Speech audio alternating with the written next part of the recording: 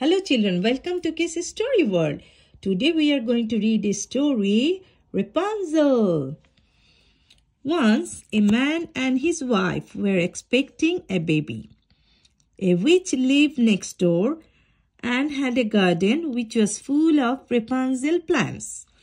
The women had such a longing to eat the tasty leaves.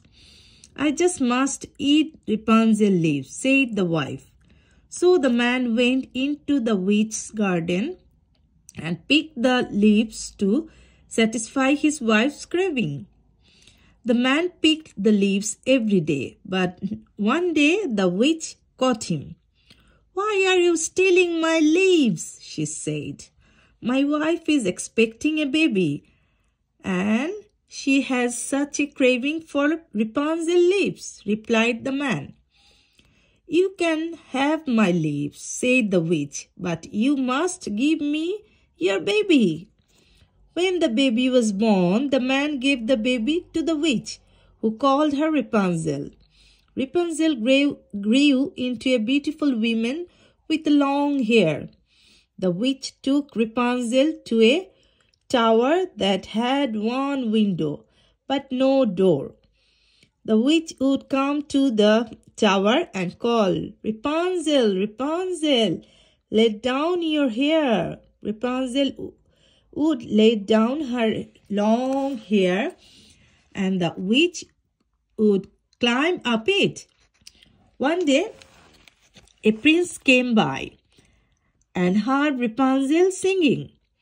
He wanted to get into the tower, but when he saw there was no door, he door he hid waited and watched. After a while, the prince saw the witch and heard her call to Rapunzel.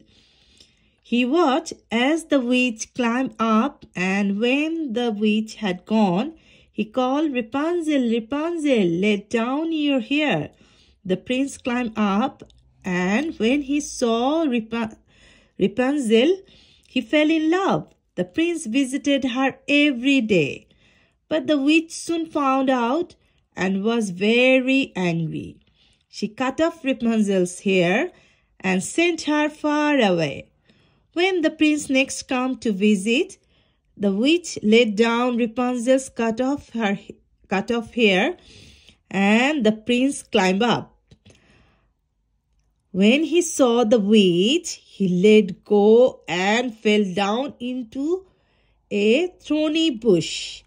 Sharp thorns went into his eyes, and he could not, he could, could no longer see.